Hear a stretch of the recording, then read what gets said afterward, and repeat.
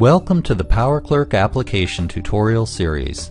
PowerClerk is an easy-to-use web-based tool that allows applicants to complete and monitor incentive applications electronically. In this segment, we'll walk you through the reservation request process for a typical incentive program. Each solar electric incentive program has different rules and regulations that applicants must follow, and there are differences in each program's application process. This tutorial will describe a two-step application process. No matter which utility or agency is administering the solar incentive program you're applying for, PowerClerk will be able to provide the information you need to successfully apply for a solar incentive. In a typical two-step program, you first apply for an incentive reservation. Then, once the installation is complete, you make a claim for the incentive. You'll begin the application process by using PowerClerk to fill out and submit an incentive reservation request. Program administrators will review your request and any supporting documents to make sure that the proposed system meets program requirements. As your reservation request is being reviewed, you'll be able to check the status of your application by logging into PowerClerk. Then, depending on program criteria and available funds, the program administrator will confirm your reservation, effectively setting aside the money to pay your incentive. Usually, this means you can begin installing your PV system after obtaining the necessary permits.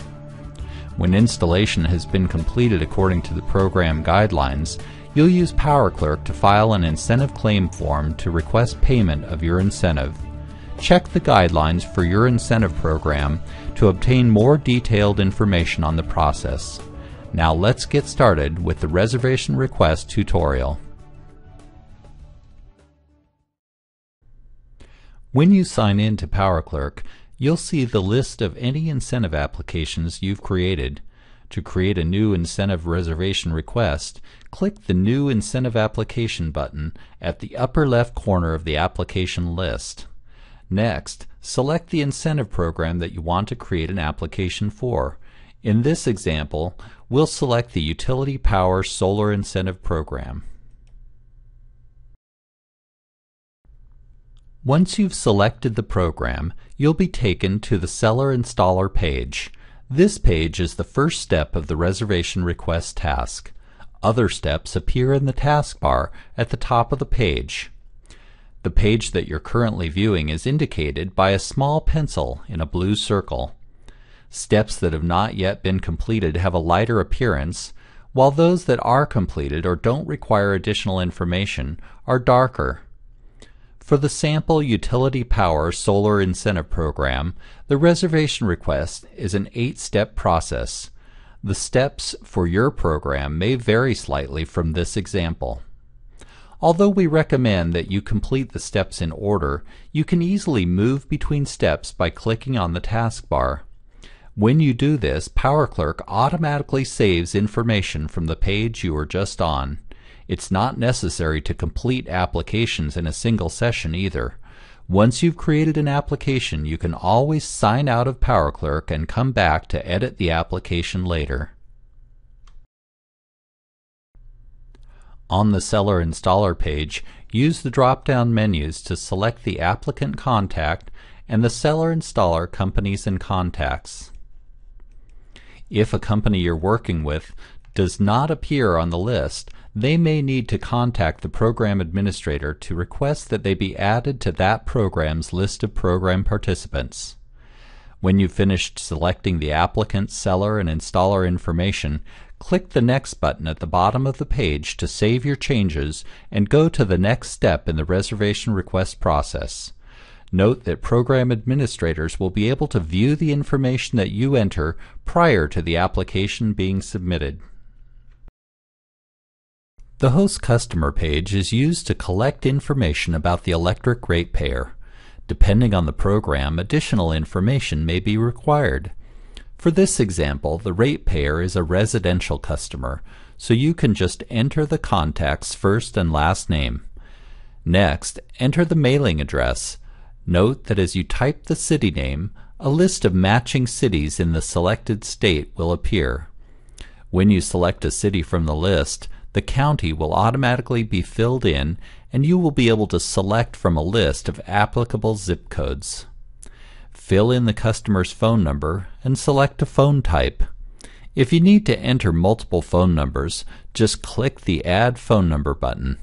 Once you've entered all the phone numbers, enter the customer's email address. If the applicant is the host customer, you can save time by clicking the Pre-fill with Applicant link near the top of the page. This will replace all of the existing host customer information with the information that's on file for the applicant. When you're done, click the Next button at the bottom of the page to save your changes and move to the System Owner page. The System Owner page is used to collect information about the party that will own the solar electric system. The type of information collected here is the same as that collected on the host customer page. If the system owner is the applicant or the seller, you can click the Pre-fill with Applicant or Pre-fill with Seller link to automatically fill in the form with the information the program administrator has on file. If the host customer is the system owner, you can select Host Customer from the System Owner Is drop-down menu.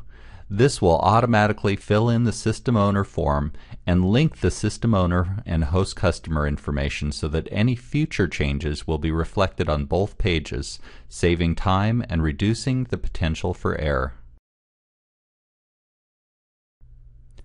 On the project site page, you'll provide information about the physical location of the solar electric system. Fill in the address where the system will be installed. If the system will be installed at the host customer's address, you can select Host Customer from the Set Same As menu to fill in the host customer's address and link it to the system installation address.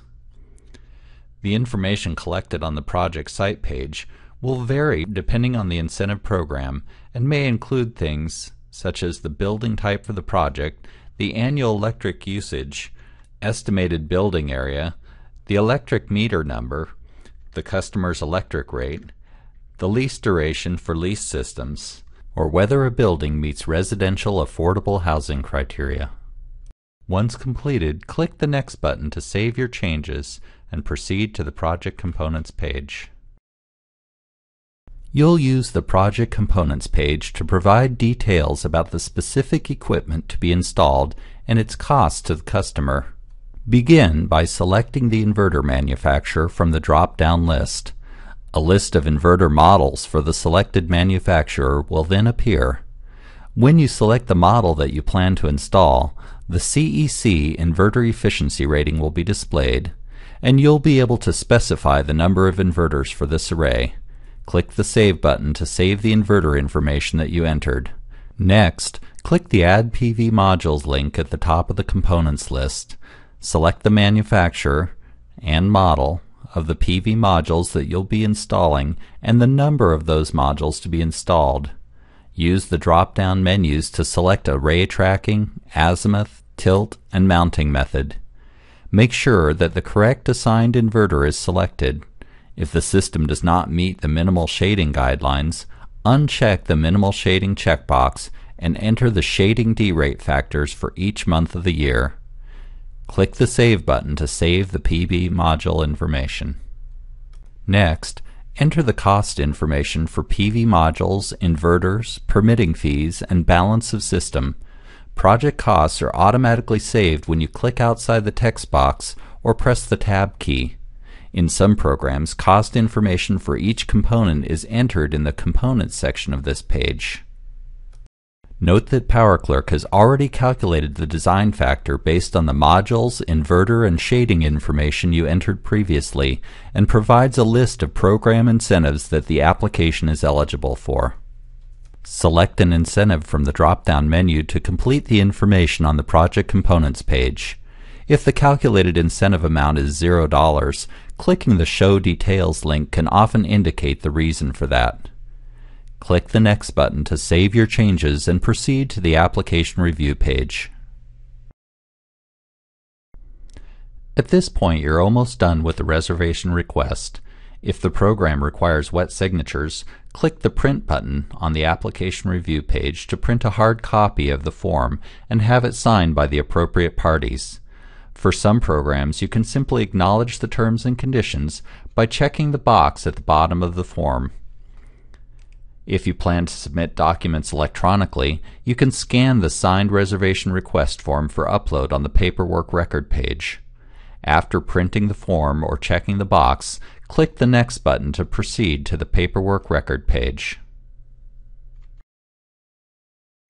The Paperwork Record page provides a checklist to help ensure that all required forms and supporting documentation are submitted with the reservation request. If you plan to physically mail your documents, simply check the box next to each document required for your application. If you're submitting documents electronically, click the Add Attachment link to the right of each required document, then click the Browse button to locate the file on your computer. Finally, click the Attach button to upload the document. All electronic documents must be in PDF format and less than 5 megabytes in size. Some programs require all documents to be submitted electronically, and others require all documents to be submitted either electronically or by mail. Items that must be physically mailed are noted as such in the list. To find information about your program's requirements, reference the information at the top of the paperwork record page or check the program guidelines for detailed information. Please review the guidelines for your program to ensure you're submitting all the necessary documents with your application.